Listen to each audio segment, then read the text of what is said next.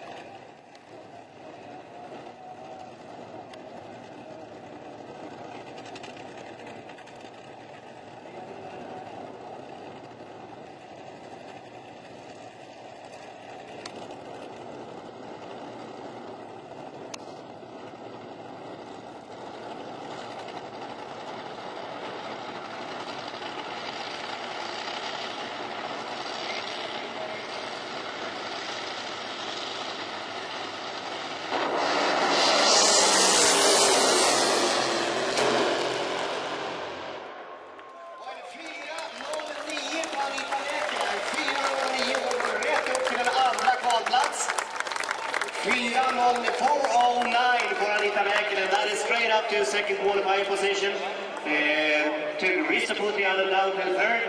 Tommy Johnson Jr. is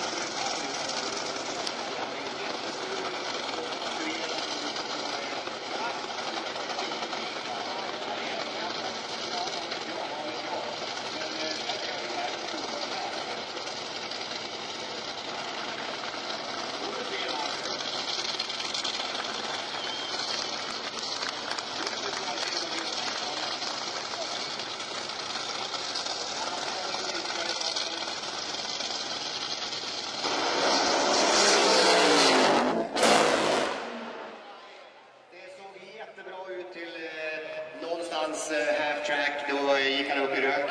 Och sen släppte han och hade ändå klockorna på 4.66. Eh, det såg väldigt, väldigt bra ut.